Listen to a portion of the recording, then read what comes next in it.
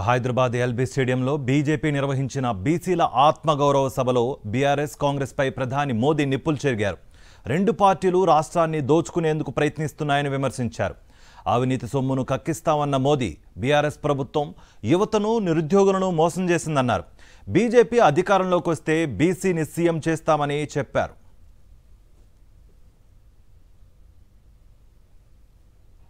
इसी बौखलाहट में यहाँ के नेता मोदी को गाली देते रहते हैं।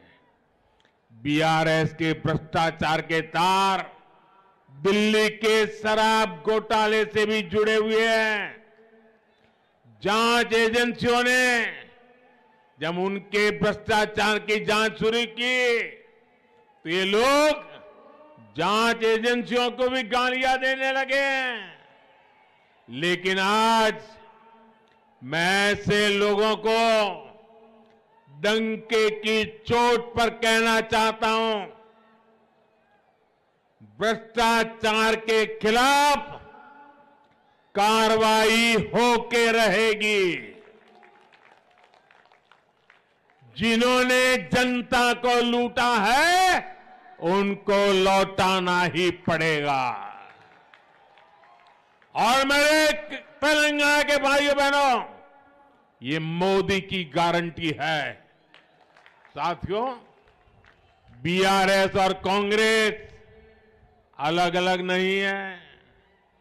एक ही सिक्के की दो बाजू है।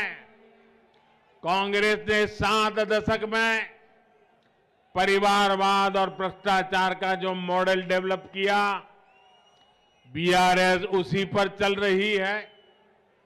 दोनों की मंशा मिलकर राज्य की संपत्ति को लूटने की है, ये दोनों पार्टियाँ अपने बेटा बेटी को आगे बढ़ाने में लगी है। उन्हें आपके बेटे बेटियों की कोई परवाह नहीं है।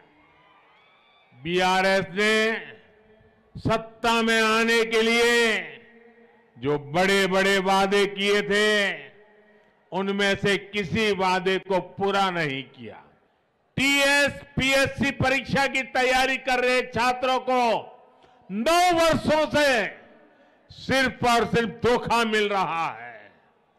छात्रों ने वर्षों तक परीक्षा होने का इंतज़ार किया और जब परीक्षा का ऐलान हुआ तो पेपर लीक हो गया। बीआरएस की नाकामी ने तेलंगाना की एक पूरी पीढ़ी का भविष्य बर्बाद कर दिया। और ये हाल सिर्फ़ एक परीक्षा का नहीं है, राज्य में होने वाली हर परीक्षा में गड़बड़ी इस सरकार की पहचान बन गई है। आज युवा पूछ रहे हैं, बीआरएस के रोज़गार के वादे का क्या हुआ?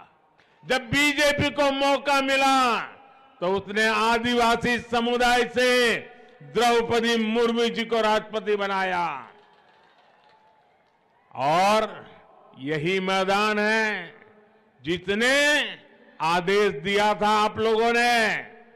और जब पूर्ण बहुमत बीजेपी को मिला, और देश में पूर्ण बहुमत वाली सरकार का पहला ओबीसी प्रधानमंत्री बनाने का आपने मुझे अवसर देकर के एक ओबीसी का सम्मान किया था।